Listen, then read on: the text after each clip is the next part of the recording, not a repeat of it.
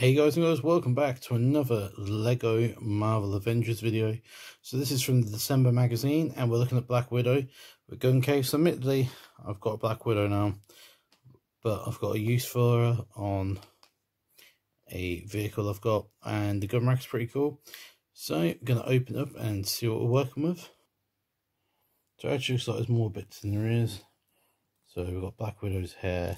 Uh, she has got the two faces that come with most of the standard um, Black Widow figures. So I'm going to knock her together and see what she looks like.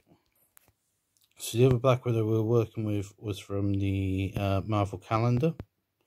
So we just finished that series up. Um, so very much the same with the two buttons, no marshmallows this time.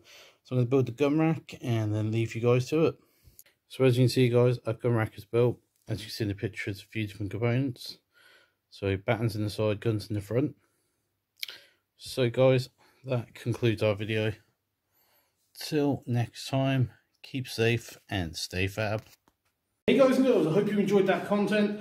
So, don't forget to hit that thumbs up, give me a subscribe. If you've done that, thank you very, very much.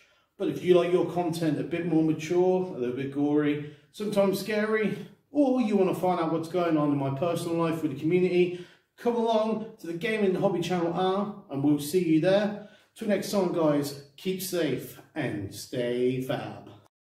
Goodbye.